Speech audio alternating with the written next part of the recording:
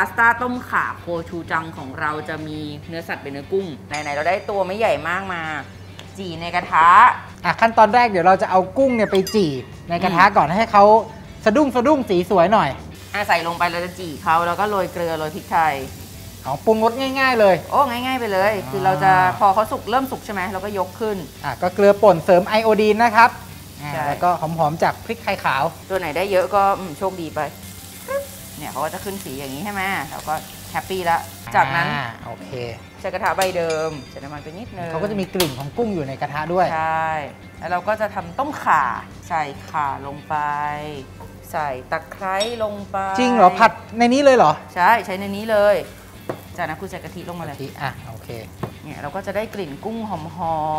มๆต้มข่าหลายบ้านนะเขาก็จะนิยมน้ำพริกใส่เผา น้ำมันพริกเผา อ่า แต่อันเนี้ยเราใส่โคชูจัง ซึ่งโคชูจังอะมันไม่ได้มีรสชาติเผ็ดอะไรหรอกนะ มันมีกลิ่นหอมนิดนึงก็มีรสหวานใส่นี่ไหมๆอะไรนะ ใส่นี่ไหมอะไร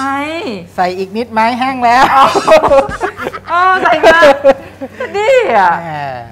ก็ระวังดูนะบางทีก็จะงวดไปอ่า จากนั้นอะเราก็เพิ่มรสชาตินิดนึงเราใส่ลงไปหน่อยนึงก่อนทำไมอะ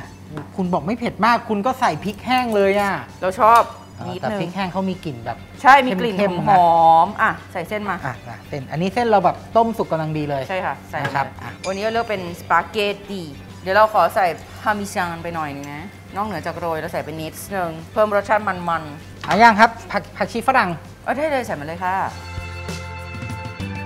พริกขี้หนูไหมครับ ใส่มาเลย จะได้แบบสดชื่นหน่อย ก่อนยกเฮ้ยลงอ๋ออย่มะนาวเพิ่งสิมะนาวมะนาวเราต้องปิดไฟ แล้วเราใส่น้ำมะนาวลงไปเท็ดดี้อะอะมาเรียบร้อยจัดเสิร์ฟได้เลยค่ะอึ๊บเลอะตักลงจานเสิร์ฟเลย ใช่ตักลงจานเสิร์ฟเลยดึงฟรึบหนึ่งที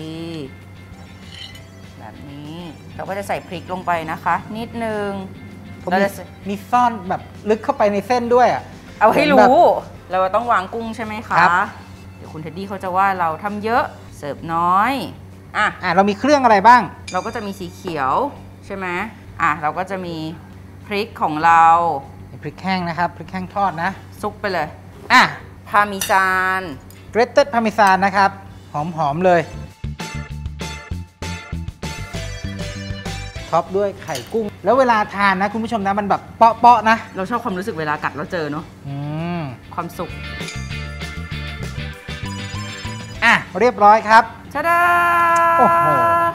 เรียบร้อยแล้วค่ะพาสต้าต้มข่าโคชูจังของเราสองคนอ